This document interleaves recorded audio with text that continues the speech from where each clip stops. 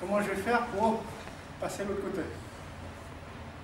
Non, ici, c'est uniquement cette notion.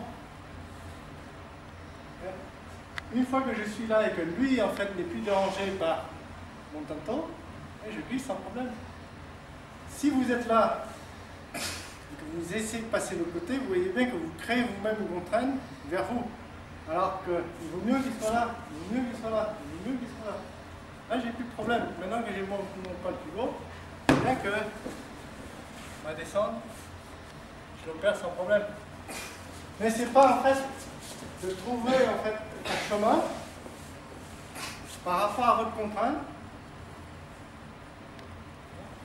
Mais bien naturellement. Ça, ça ne me dérange plus. Maintenant, j'ai un autre point de pivot. Une fois que j'ai ce point de pivot, je vais pouvoir me déplacer. Maintenant, c'est ce travail effectivement de descente qu'on a fait tout à l'heure qui fait que nous descend. Ça va? Donc, je reprends rempli, contact, ici, et bien, c'est ça qui crée la menace.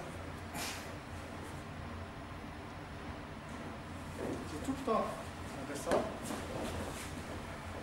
et j'ai mon partenaire.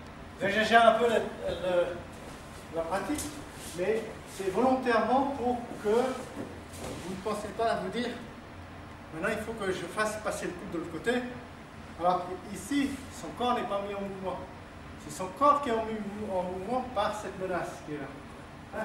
Dès que la menace n'est plus, je vais reprendre le point de pivot. Et j'ai tout mon temps là. Maintenant, sur ce point de pivot, je me déplace pour assurer la descente.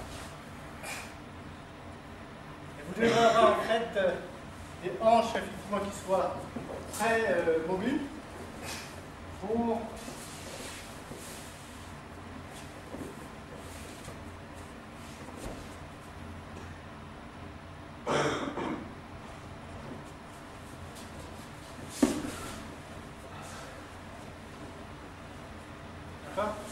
Allez-y, essayez de faire de la peinture.